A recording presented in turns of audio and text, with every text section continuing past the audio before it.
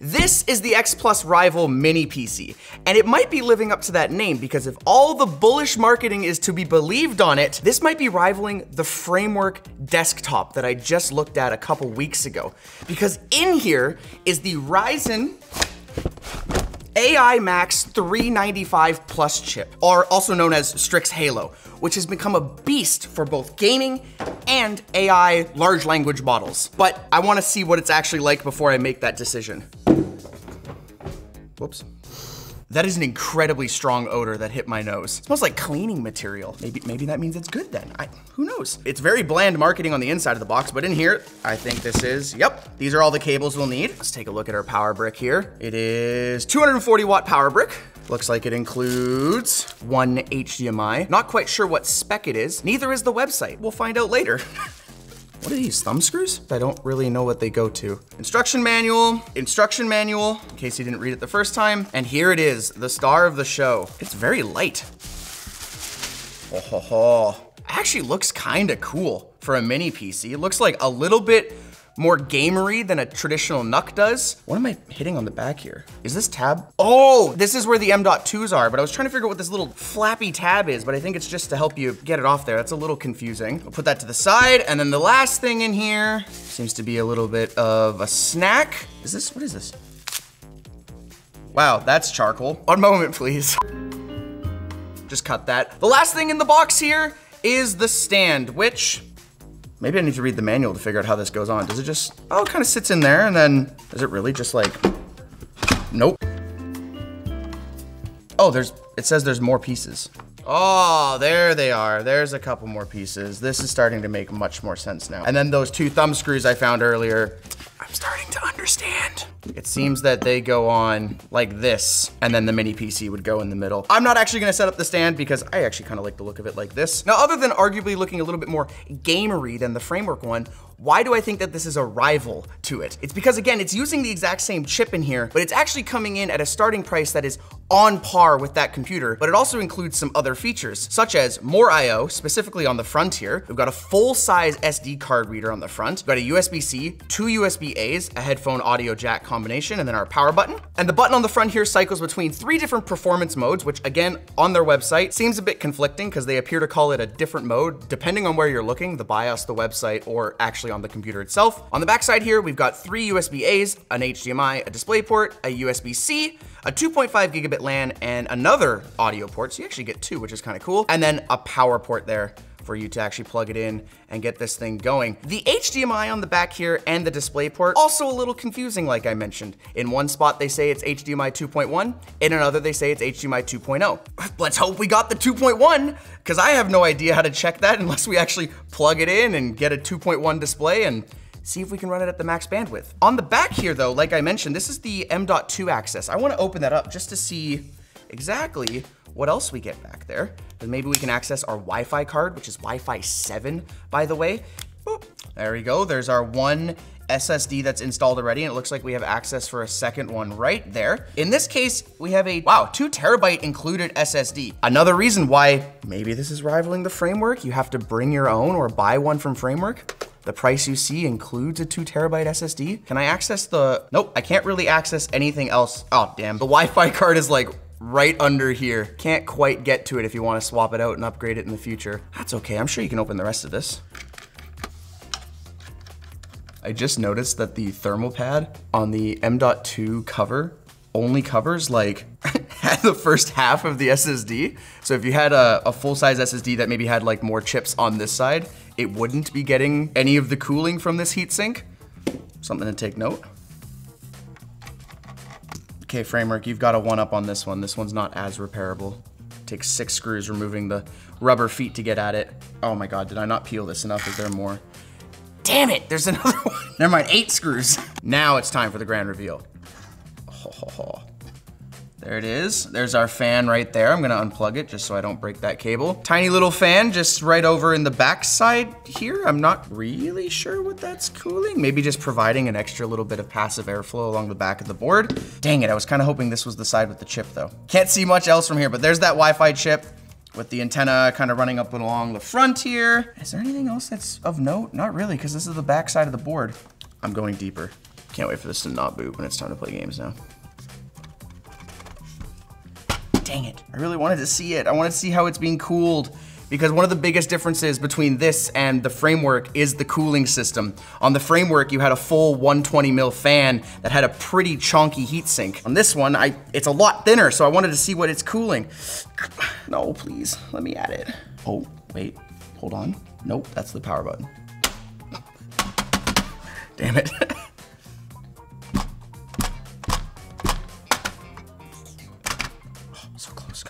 Yeah, I'm not sure what it is, but I wanna, I don't wanna go too much deeper just in case. I wanna still turn this thing on. I technically don't need to actually see what the cooling system is. Labs did do some numbers to see how hot it gets. To the surprise of no one, if it's this thin and a lot, you know, less cooling than the framework, it actually didn't perform as well in terms of cooling. And I mean, to be fair, I don't think this one is designed to be as opened up like I just did uh, compared to the framework, for example. I guess unless you need to like actually repair something in there, but nah, I wanted to take a look. And now I've been disappointed. Other than cooling, one of the major differences between this and the framework desktop is that this one starts with 96 gigs of RAM, whereas on the framework side, if you want to get the 395 chip, it starts at 64. This can be configured all the way up to 128, just like the framework desktop, but it needs to be soldered in order to reach those crazy speeds of 8,533 megahertz. It actually can't do that, but that's what this website advertises. It only goes up to 8,000. I'm not sure where they pulled that number from. We looked in the BIOS with labs and they couldn't figure it out. False advertising? I don't know, maybe it can. I wanna power this thing up though and see how it does in gaming. Not after I game this segue to sponsor Thanks to eMeet for sponsoring this video. Their Pixy webcam doesn't just look like a cute character from an animated sci-fi movie, it's got a ton of features too. Capable of 4K imaging at 30 FPS thanks to a dual camera system, industry-leading Sony sensors, and blink focus technology. It can achieve super fast autofocus in about 0.2 seconds. It also has smart auto tracking, gesture control, and with its pan, tilt, and zoom features, you'll be in frame even if you tend to move around a lot. Me, I can't, I'm stuck here. Plus with a three microphone array, it really is an all-in-one video conferencing solution, and great for content creators too. Check out the eMeet Pixy using our link in the video description, and upgrade your webcam game today. Let's power this baby on, but before, look at the RGB. Wow, when you look at it straight on like that, it actually is quite dominating. Okay, here we go, let's turn it on. It is really quiet if it is on. Oh yeah, there you go, it booted. Holy cow. At least on boot, it is extremely quiet. Did I plug the fan back in? I think I did, right? oh. Ah, once we're in Windows, the fan decides to kick in. You know, that demanding task, Windows. it's pretty loud. How many fans does this thing have again? I think there's three, because that's what the marketing says, and because I didn't get the other side off, I couldn't actually confirm that. I think I see at least one fan through the top grill right here, and then there was that back fan. See how loud it is then when we actually start getting into some real games here. Okay, let's open up our task manager here. I wanna see just how many gigs of RAM is being, oh, there you go. Okay, so 32 gigs of RAM is being allocated to our GPU, and then we have 64 gigs of RAM being dedicated to our CPU. Just like the framework, this one can be configured in the BIOS, and with this model, you can go all the way from half a gig of RAM up to 48 gigs of RAM. So it's not quite the three quarters that framework allowed you to go, but I mean, if you put 48 gigs of RAM on this GPU, you have more VRAM than a 5090. So running large language models that could fit entirely in RAM, for example, will theoretically be much better on this device than some of those higher end cards. I mean, obviously big asterisks, big asterisks based on the type of model and exactly how fast it is and everything, but it gives you an idea of exactly how much VRAM you can give this puppy. I want to do some gaming on it with the stock config, which is the 32 gigs. Let's do, I did Cyberpunk with the framework, so let's do Cyberpunk again. Boo. What, what do you mean boo? Wanted rivals. You want oh, you wanted rivals on the rival? Guys, we can't play rivals on the rival. It's not part of our test suite. We are testing it though. To. You're testing it and I can't play rivals on the rival? Bull. Oh, that fan is definitely picking up. Can you hear it? I want to hit the power button, the light button on this and check the modes. Okay, so we've got like a rainbow wave. Ooh, red. oh, yellow. Does it just do all rainbow? What's the next one? Off. Okay, very cool. Ooh, look at that. Oh, I was talking to John from the labs. Apparently you can't configure this other than just this button right here. It's just a bunch of presets that you hit and you find one that you like. We're gonna go with unicorn barf. All right, let's give it a go. Yeah, I'm cyberpunk. 1440p, basically everything on high and ultra. Average is 46 in this area. Let's get to like a, oh crap. I've never played cyberpunk before. Am I not like a robot? I thought I could live fall damage. Well, we're almost to the point where I can start killing people. And then I'll tell you what the FPS is. okay. Ooh, 1% lows. When it was loading there, it was like 20 FPS, 30 FPS now, 40 FPS average roughly. You know, I think if you're like a PS4 gamer, this is right up your alley. It just costs a lot more than a PS4. I think we should probably go down to 1080p though. I feel like that's where this thing will really shine. It's a little bit better. Our average is around 50. Probably get it up to 60 if we did some more tweaking with the actual settings, which in that case, then I would call this totally playable, 60 FPS. Oh my god, we touched it there for a second. Do I keep my FPS average when I start killing people? It's not the type of game I'd play anyways. Let's boot something else up. This thing's not quiet. It's kind of annoying actually. And it doesn't even feel like it's moving that. Oh, there's actually a decent amount coming out the back, which is fine, but I would expect these to be like an intake or something or, or another exhaust. We're actually getting two gigabit download, which according to the marketing, it said that two and a half is twice as fast as one. Matt's a little hard, I guess, because it's supposed to be one, two and a half times faster, not two times faster, but hey, won't criticize them too much. I wanted to make sure I was in the turbo mode, so I hit the button. I love that it just pulls up this image. So that's probably eco. Unless that's eco. And that's turbo? I'm not really sure. It doesn't give me anything else other than that. I'm gonna hope that red is turbo. My download slowed down. Red was stop, actually.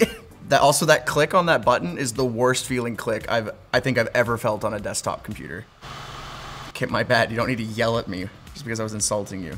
While I wait for CS2 to download, we can go over the labs results. In 1080p, amongst all of our games, we decided to test it both in the balanced and performance mode against the framework desktop. And in the performance mode, it was on par, but in some games, it was about a 2% worse performance across the board, whether it was like F1 uh, 24 or Alan Wake 2. And then in the balance mode, it definitely suffered a lot more than the framework desktop. We also did try ray tracing because it's capable of ray tracing. I would not recommend it. I mean, I didn't recommend the framework in ray tracing either. As soon as you turn ray tracing on, the frame rates basically get cut in half and you're getting like a 30 FPS in Cyberpunk. And then in 1440p, again, same story. It seemed on par with the framework in the performance mode and then the balance mode, which was worse, but that's kind of expected if you're toggling between the two modes. The result that I'm the most interested in is the thermals, mainly because this thing is loud as heck when it's right beside my head. And it kind of shows. At least in our F124 test, it struggled compared to the framework desktop. It got up to 84 degrees and averaged 82. And it averaged way hotter than the framework while drawing less power on average, which not a good thing. I didn't mention it earlier, but this chip is actually basically locked at the 120 watts that it advertises, whereas the framework was able to clock a little bit higher if it felt that it needed it and it could go further. And again, man, this thing is getting real loud again. I'm trying to talk and it's interrupting my thinking. And same story in Cinebench. It was averaging way hotter while drawing less wattage. It's probably because it is a way thinner cooler. Saying that though, it is still a performative little machine. When we did some of our Blender renders, it actually managed to keep up with the framework in some tests. It was a little bit behind, but again, that's probably due to it maybe overheating and thermal throttling. In our multi-core test, it was again just slightly behind the framework desktop in the performance mode, but the single core performance was identical, which is what I would hope because they're the exact same chip. In our Photoshop test, this is where this thing really shines through. In the Photoshop, it actually outperformed the framework by just a tiny bit. My CS2 is downloaded. I don't care about Photoshop. I have gaming to do. Got everything on high settings, 1080p, 1% lows. It's hard to see with the mini map. What is that? 80? Hey, hey, hey, hey, I'm, I, stop it, stop. I, I, uh, 1% lows seem to be settling in at about 80, with our average being 150? It doesn't seem to be as good as the framework desktop, but again, I wonder if that's because of a heat issue. I don't know, this is CS2, right? I don't, if it's overheating in this game, bruh, oh, dude, triple, oh, quad feed. I'm reloading, okay. It's very distracting though. I think if I had headphones on, I could get over it, but this thing is, this sucker's loud. But just because it's loud, does that mean it's not worth it? Well, it depends on what you get it for, because depending on when you refresh the page or which device you open the website on, the price seems to change. At the time of filming this, we've seen it for 1480 starting at this config and $1,700 for the 128 config, which again, is cheaper at that top end model than the framework was, but according to our labs, you get a little bit less performance. I think the $300 saving that you get is worth the performance difference, but I think it depends on what your use case If you're gonna go for something that is more of a productivity workhorse, whether that's LLMs where you need the VRAM or, I don't know, minor esports gaming, like a LAN event or something, I think this thing is pretty worth it, but I wouldn't buy it from that site.